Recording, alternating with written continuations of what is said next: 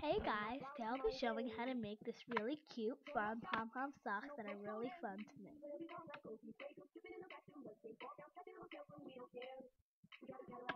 These look great with any shoes and are perfect for this time of year. Let's get started. For this, you'll need a pair of socks, scissors, yarn, a needle, and thread.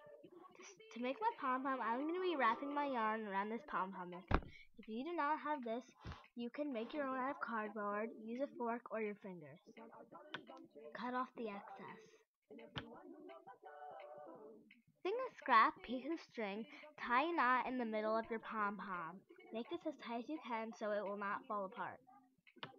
Pull it off your pom-pom maker.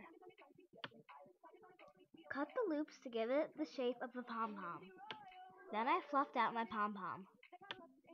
Using my needle and thread, I'm going to sew my pom-pom onto my back of my sock. Make sure to make it tight so it will not fall off. And that's it. You now have your adorable, fun, and cute pom-pom socks. Thanks for watching, and we'll see you next time.